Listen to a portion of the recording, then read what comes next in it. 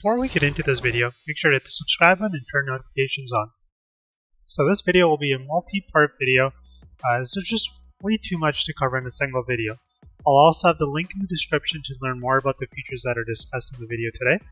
Uh, these changes are promised to be released later this year. The first feature we'll be discussing is Shopify's newly expanded global infrastructure. What this will allow for is your customers to connect to your website more efficiently from anywhere in the world. Shopify is expanding their service, which means your customers can connect to your website twice as fast as they normally would. The second feature is Shopify's one page checkout. This is a feature that customers have been asking for many years now.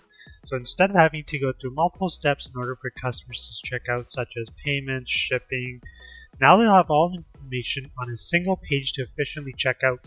You can definitely expect higher conversions with this new feature. A feature we weren't expecting but they have announced is the ability to sell directly on YouTube. You will now be able to create authentic, live, and on-demand shopping experiences for your customers. So you can now pin products into the chat for a quick and efficient way for your customers to check out. Another amazing feature is the quantity rules. So instead of having to install third-party apps to your Shopify store, you'll now have the ability from within your Shopify's backend admin panel to add minimum order quantities for products along with being able to set unique rules for different customer groups.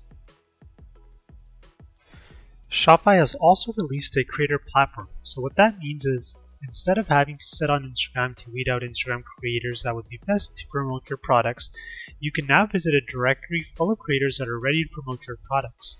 You'll have the ability to filter through creators to find which ones align with your brand.